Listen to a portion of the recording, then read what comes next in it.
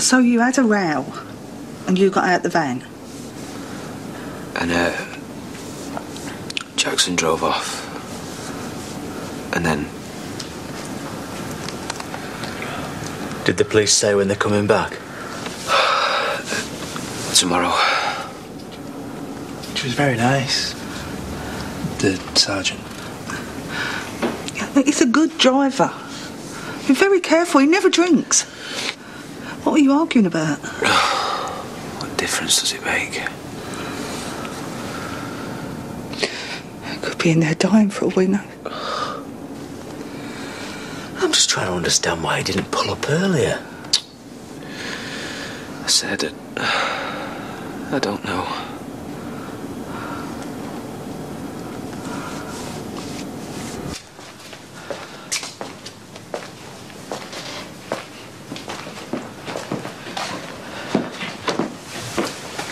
How's Aaron doing? Not great. I just can't stand not knowing. But how much longer are they going to be in there? I'll go and see if I can find anything out.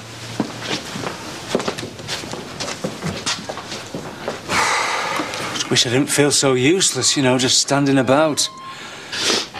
You're here. That's the main thing. Yeah, tell me if I'm in your way, eh? Hey, come here. He'll be all right. His mum's here now. He's still my baby. I know, I know. I should be with him. He doesn't even know that I'm here. No.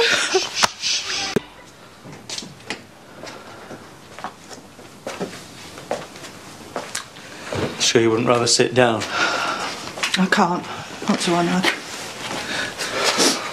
Look at the state of me. Can't stop shaking. I used to get like this when he fell off his bike, which he did about 20 times a day. Here. Just washed. You iron your hankies. I'm adapting to a bachelor lifestyle. Oh, God. I've got to phone his dad. All right, I'd, uh, I'd best get out of the way then, eh? Is there anything else you need me to do? Uh, Just stay by the end of the phone. I'll call you when I know something. Yeah, as if I wouldn't be. Sure you're gonna be all right? No, I'll manage. You'll be all right. Jerry, it's me. I'm at the hospital. It's Jackson. He's had an accident. First time I had to stay in hospital overnight when I stood on a rusty nail in a barn. Got blood poisoning. Got two weeks off work with that. It wasn't all that bad. I got kicked by a horse one time. That was two nights. Everyone thought that was really funny. I had flipping brain damage. Sorry. Should have seen the way she was looking at me. You what? Don't act thick, Paddy. Are you here with Jackson Walsh? I'm his mother. What's happening? Is he going to be all right? We've done all we can do for the time being.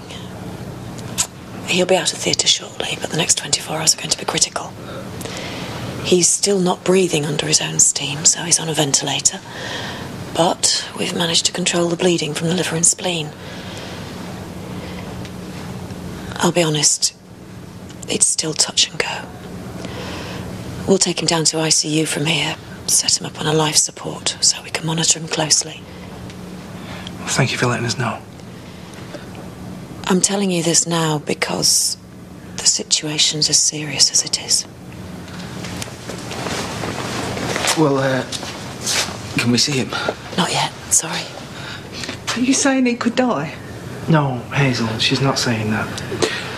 That's what you're saying, isn't it?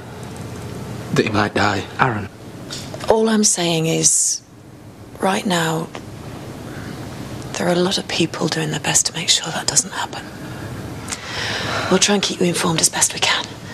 Okay? This is all my fault. no, it's not. It was an accident. Going to be be all right. You just wait and see. It's going to be all right.